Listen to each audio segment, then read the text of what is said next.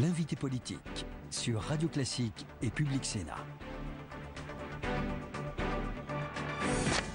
Euh, bonjour, mon cher François Bayrou. Tout le monde sait que non seulement qui vous êtes, mais évidemment que vous êtes catholique, pratiquant et passionné par ces affaires.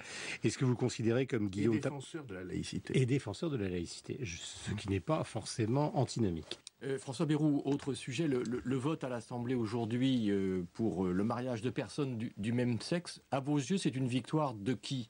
C'est une victoire d'un camp, c'est une victoire de François Hollande, c'est une victoire, euh, je dirais, de la modernité, entre guillemets J'ai un regret en face de cette euh, affaire. Euh, j'ai la certitude qu'il existait un chemin qui était un chemin de réconciliation de toutes les sensibilités. Hum.